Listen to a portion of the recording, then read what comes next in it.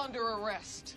And that means that Why are you doing this? You're hurting him, man. This is totally unnecessary. What's the matter with you people? Excuse me, excuse me, excuse me, sir.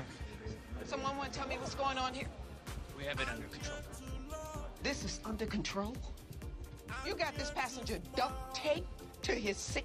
We appreciate your concern, officer, but this man was causing a disturbance. He repeatedly tried to exit the plane when he was told to remain seated.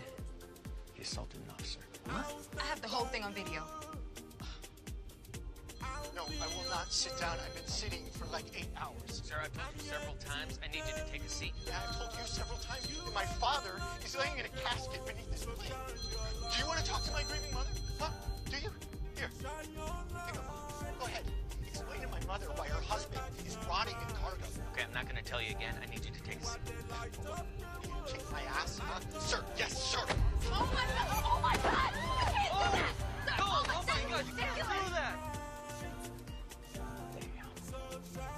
That escalated awfully fast.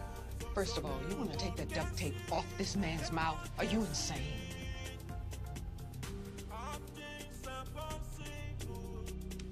Are you okay, sir? Yes, thank you. Now, tell me why these people can't exit this plane. We've been here for eight hours. All right, all right, give me a moment, give me a moment. We got word that no one should exit an inbound aircraft. I see.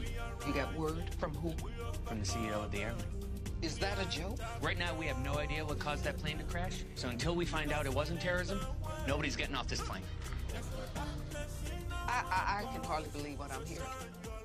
That badge says Los Angeles Airport Police. And now you're telling me you're taking orders from CEOs, an industry whose motto is the customer is always the moron. They make a billion dollars a year on baggage fees, and you're on their side. Your knees pressing against the seat in front of you because they want to add three extra rows, and you're on their side. Five damn peanuts in that bag, and you're on their side. Oh, no, no, no, no. Not today. Because we both know that it is perfectly safe for these people to get off the plane. I don't give a damn what the CEO says.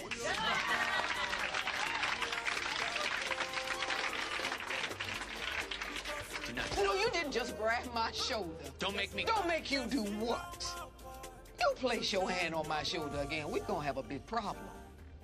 Now, you said that this customer was causing a disturbance. Well, then, I'm putting him under arrest for disorderly conduct. In fact, I'm arresting everyone on this plane. They're in my custody now. You are all under arrest. And that means that you are all leaving this plane.